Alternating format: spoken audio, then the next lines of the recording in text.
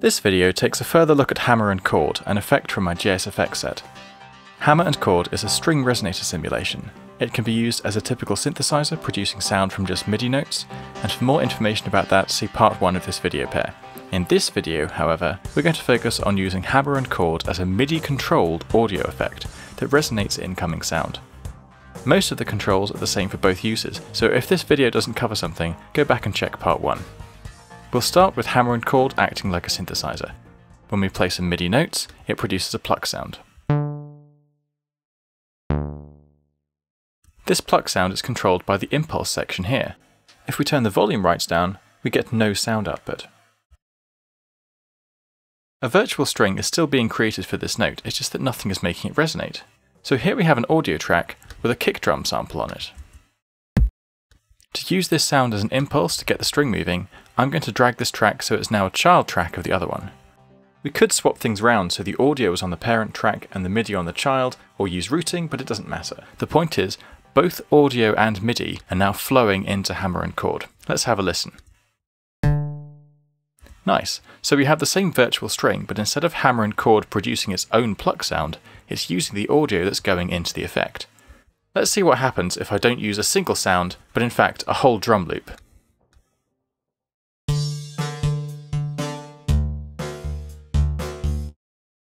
So what used to be a drum loop is now a synth playing a rhythm and the different drum sounds produce different timbres on the string.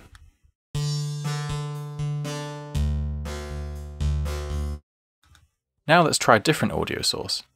I'm going to add a pink noise generator before hammer and chord.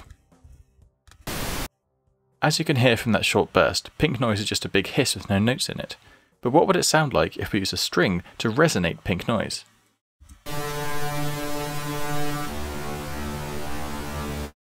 So that's interesting.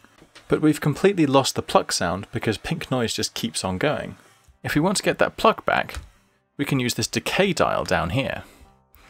The default value doesn't decay at all, but if we change it, then each virtual string only takes input from the beginning of the note and ignores later input. Let's have a listen. So now we have our pluck sound back because it's using a short burst of pink noise at the beginning of the note and then ignoring the rest. Let's try a polyphonic input.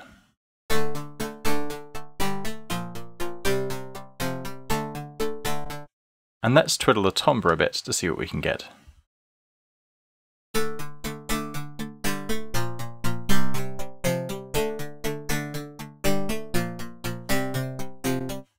If we change our pink noise to stereo mode, we get a cool stereo pluck. And let's add an EQ to soften it a bit.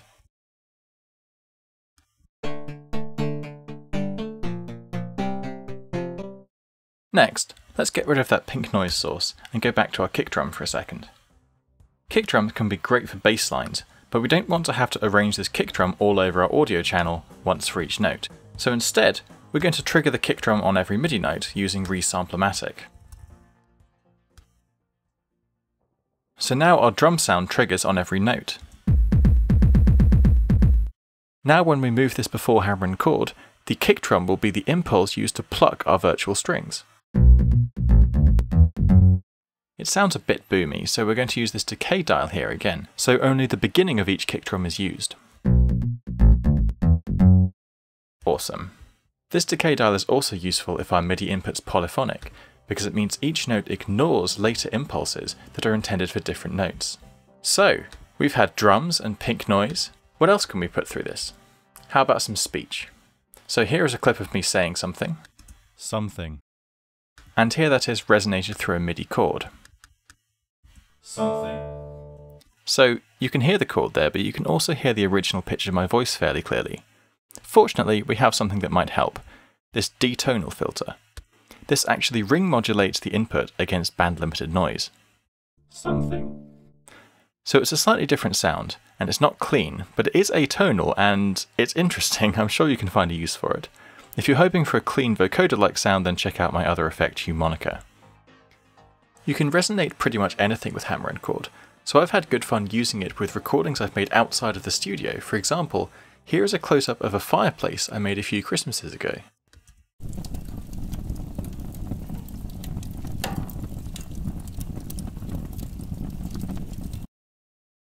Let's add Springbox for a bit of space and see what hammer and chord does to it.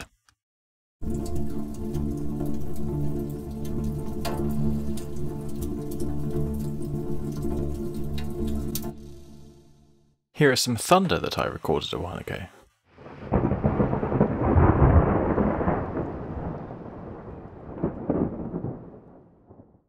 And here it is with hammer and chord.